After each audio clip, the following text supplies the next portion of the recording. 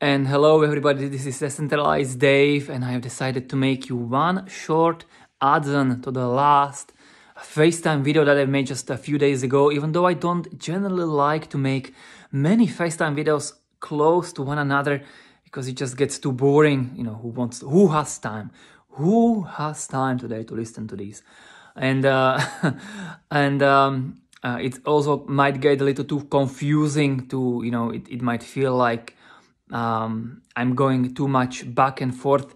But also uh, yesterday's uh, S&P 500 new all-time high uh, convinced me kind of that uh, uh, it's not wise, I think, to be right now short-term bullish uh, and also not even for altcoins.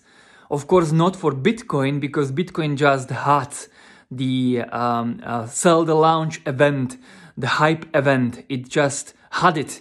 So the next potential uh, hype or psychologically maybe hype event could be the halving, but that is like mid-April and it's mid-January. It's months away.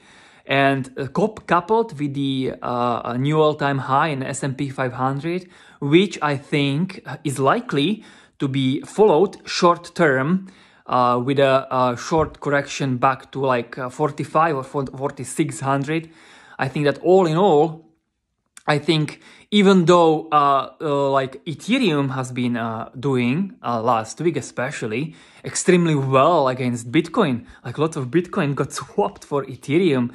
So maybe partially, partially maybe market is front running the possible hype or the possible alt season, and maybe uh, uh, some of the alt season, maybe the beginnings of it started already being priced in, but still um, I've reconsidered my very super short-term uh, bullishness, and um, I think that it makes sense to remain. Or, or, and also, you know, I made uh, I made a call in at the end 8th of November where I scaled down, and uh, um, and the altcoins, well, some of the altcoins really pumped. So uh, I'm pretty much sure that even if I wait now, if I even if I'm patient, I'm not gonna get uh, back more coins.